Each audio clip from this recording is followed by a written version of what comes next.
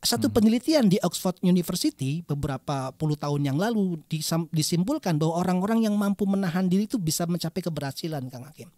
Karena contohnya gitu, jadi anak-anak diajak masuk ke ruangan gitu, satu-satu diundang, lalu dia diberikan satu hidangan.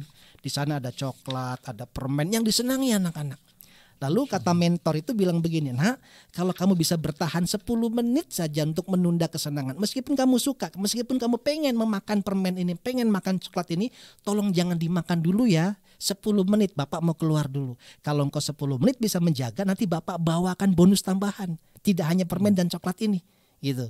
Nah ditinggal tuh 10 menit Kang Hakim di ruangan sendirian si anak namanya anak-anak kan ngelihat pengen lihat pengen.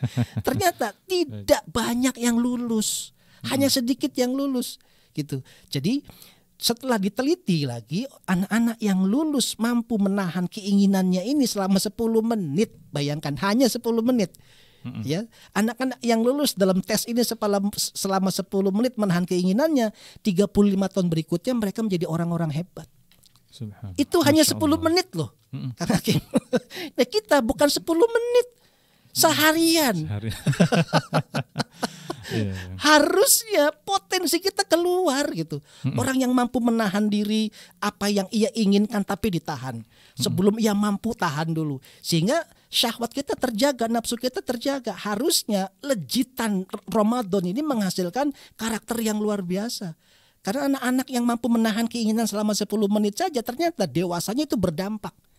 Ya karakternya lebih terjaga. Bayangkan kalau yang 10 menit saja seperti itu gimana yang seharian. Artinya Islam memberikan satu kesempatan kepada kita bahwa ini loh wadahnya yang Allah berikan supaya potensi dasar manusia itu bisa lahir, bisa Lahir. muncul. Karena di mana kalau kita menahan sesuatu berarti pasti ada yang muncul gitu. Itu rumusnya begitu. Baik. Apa yang kita tahan berarti ada sesuatu yang muncul. Menahan emosi kita, menahan nafsu kita maka kebaikan yang muncul.